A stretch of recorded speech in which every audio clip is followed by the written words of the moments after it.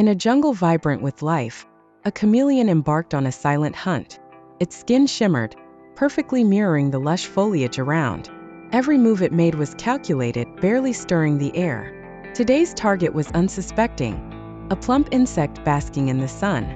With each step, the chameleon's color adapted, a spectacle of nature's camouflage. Not even the keenest eye could spot the predator as it inched closer. The insect hummed, oblivious to the danger lurking just a leaf away.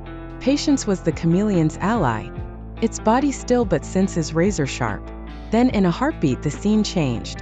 The chameleon's tongue shot out, a blur of precision and speed. It was over in the blink of an eye, the insect caught in its grasp. Victory was silent, the chameleon savoring its easy catch. Yet, even as it feasted, its skin danced with colors, celebrating the hunt. Nature's master of disguise had triumphed once again, blending back into the world unseen. Tomorrow the dance would begin anew. Another day in the life of the jungle's most elusive artist.